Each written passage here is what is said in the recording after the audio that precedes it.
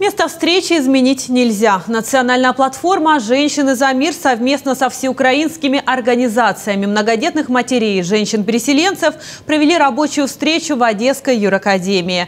Пять лет назад на базе вуза состоялся первый масштабный женский форум. Новое время добавляет темы для обсуждения, а цель таких встреч – выработать решения, которые помогут преодолеть проблемы в социальной сфере.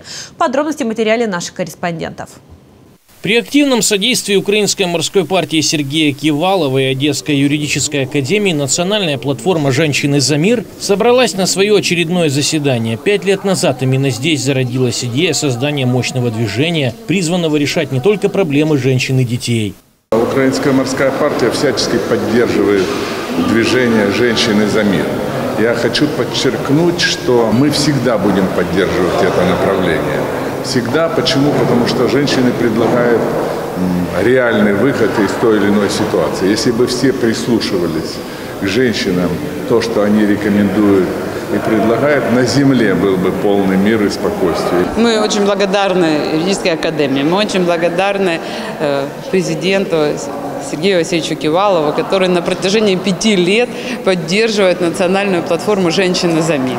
И для нас это э, место стало уже как домом родным, потому что в Одессе здесь проходил первый э, учредительный съезд женщин Украины. И здесь на протяжении пяти лет мы обсуждаем самые острые, самые важные вопросы. Сегодня главная тема – это тема защиты детства и материнства в Украине. На заседании Совета матерей также рассмотрели вопросы поддержки многодетных семей, реализацию программ, направленных на решение актуальных проблем материнства и детства. Мы очень тесно работаем с Сергеем Васильевичем, и мы очень благодарны за ту помощь, которую он оказывает нам. То есть мы ни разу не видели в чем-либо отказа. И, конечно же, все наши начинания, все наши социальные проекты, которые мы проводим в этом городе, зачастую они э, проходят либо на территории юракадемии, э, либо же э, с поддержки Кивалова. Происходят такие важные события, женские инициативы. Самое первое заседание произошло тоже здесь, почти уже пять лет назад. Именно с этого места стартовала наша прекрасная национальная платформа «Женщины за мир», где десятки услышали друг друга, объединились и уже за это время сделали очень много добрых, важных и хороших инициатив. 2020 год – тяжелый период для всех и для социально незащищенных категорий граждан особенно. Из-за карантина тысячи многодетных матерей лишились работы. Их дочери и сыновья получали не всегда качественное онлайн-образование. Остались проблемы и из прошлой, до карантинной жизни. Женщины-переселенцы до сих пор не знают, получат ли обещанное жилье. Самая главная проблема у женщин-переселенцев – это жилье. Однозначно, что этот вопрос стоит у всех переселенцев, потому что каждая мама думает о своих детях и думает, чтобы у них был а, налаженный быт, чтобы у них была крыша над головой и чтобы э, их дети росли и развивались в дальнейшем.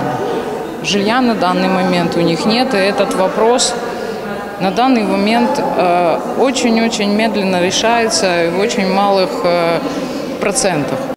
Лидер национальной платформы «Женщины за мир» нардеп Наталья Королевская подчеркивает, целый год оппозиционные политики пытались найти диалог, чтобы оперативно решить вопросы многодетных матерей и переселенцев. Но пока особого желания у монобольшинства не наблюдается. Женщины Украины написали 150 законопроектов. Мы все, как народные депутаты оппозиционной платформы «За жизнь», и мы благодарны Сергею Васильевичу Кивалов в прошлом созыве присоединялся, был также соавтором этих законопроектов, зарегистрированных в парламенте. Но, к сожалению, ни у режима Порошенко, ни у уже новой власти не хватает времени, ума, желания э, их рассматривать, принимать. Если мы целый год вот новой власти, мы пытались с ними абсолютно конструктивно достучаться, научить, подсказать, посоветовать.